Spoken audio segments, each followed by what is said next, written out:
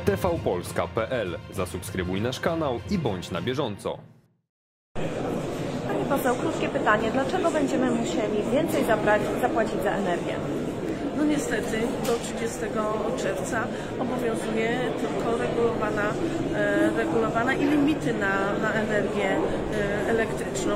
E, na razie w Sejmie nie słyszymy o żadnych ustawach, e, e, które by miały to zmienić, czy ewentualnie e, przedłużyć.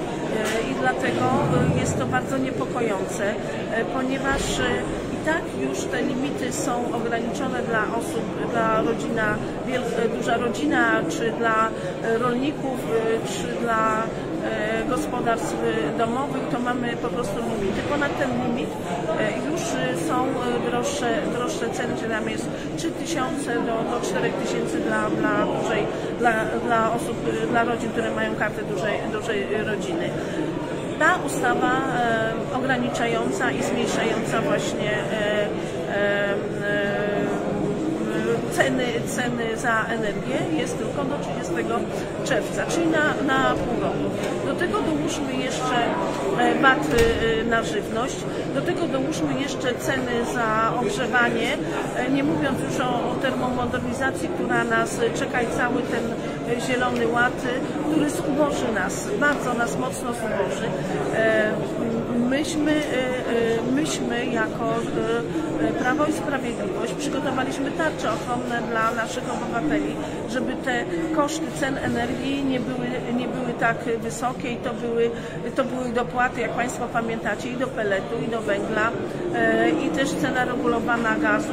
Teraz przychodzą już rachunki za gaz przynajmniej o 60% większe dla takiej średniej, e, średniej rodziny. Do tego dodajmy cenę energii, dodajmy wzrost cen e, na, na żywność, a to, że wzrośnie cena energii, to za, za tym pociąga różne skutki, bo to e, każdy produkt, e, który e, jest, do jego wyprodukowania potrzebna jest energia, więc ten wzrost cen energii pociągnie za sobą inflację.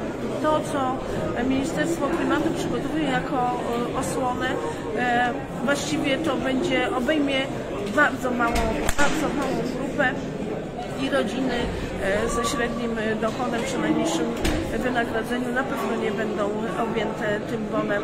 E, Zresztą e, też i pani minister wycofała się z tego bonu, więc my do końca nie wiemy, jaka przyszłość nam, nas czeka od, od, 1, od 1 lipca, no ale to jest koalicja 13 grudnia, która ma, chce wygrać jeszcze e, wybory parlamentarne. Tak, tak im się wydaje, że, że wygrają te e, wybory parlamentarne, stosując takie po prostu, e, po prostu triki. E, Ja uważam, że nasze społeczeństwo już się obudziło, że ludzie widzą, e, jaką politykę prowadzi ta koalicja 13 grudnia i e, będą wiedzieli, jak zagłosować, e, za kim zagłosować do Europarlamentu e, i kogo wybrać do Europarlamentu. Jeszcze jedno pytanie dotyczące e, dzikich zwierząt w mieście, szczególnie na Podkarpaciu. W Sanoku na przykład mamy takie częste przypadki w ostatnim czasie, gdzie pojawiają się na ulicach miasta niedźwiedzie, wilki, też dziki, to już jest prawie że normą. E, proszę powiedzieć, co parlament, co polski parlament e, robi w tym kierunku, aby po prostu e, ten problem rozwiązać. My jako Prawo i Sprawiedliwość chcemy skierować interpelację do ministra klimatu w sprawie właśnie wilków, niedźwiedzi i żubrów też, które właściwie już bardziej wpływają na gospodarkę leśną niż na e, mieszkańców. E, To po pierwsze. Po drugie jest dyskusja na Komisji Rolnictwa e, rolnictwa o wypracowanie dezydoratów, z, z tym, że z tego co, co wiem, to, to e, partia rządząca w tej chwili nie za bardzo chce przyjąć ten e, dezyderat. Chodzi właśnie o ograniczenie populacji, e, populacji wilków i, niedźwiedzi, szczególnie na naszym terenie, ale to nie tylko e, teren tutaj Podkarpacia, to również e, wschodnia Polska, e, warmińsko-mazurskie, tam ta populacja również jest.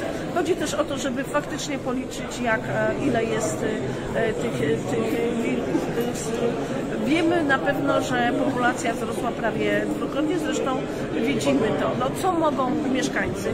Mieszkańcy muszą każdy, każdy przypadek zgłaszać do swojego wójta, burmistrza, e, prezydenta, e, monitorować to, czy e, burmistrz, prezydent zrobił coś z tym, czyli napisał i zgłosił do konserwatora przy, przyrody, e, czyli pana ministra Dorożały, który odpowiada e, e, za to stanowisko i również informować przy okazji Regionalną Dyrekcję Ochrony e, Środowiska, bo, one, bo oni też wyrażają opinię e, na temat, ale muszą mieć podstawy, więc e, prośba do, do mieszkańców.